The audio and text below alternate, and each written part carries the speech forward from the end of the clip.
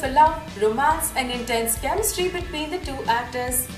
The definition of love and romance has changed over the time. However, what remains constant is the fascination of filmmakers towards the subject. Kisses, smooches, and intimacy have created a new trend. So here's a look. Parineeti Chopra and Sushant Singh Rajput set the screen on fire with their chemistry in Shuddh Desi Romance.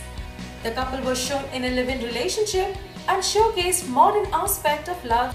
Their on-screen kisses were talk of the town and the couple shared a lot in the movie. This is Vidya Nayak for Bollywood Uncut.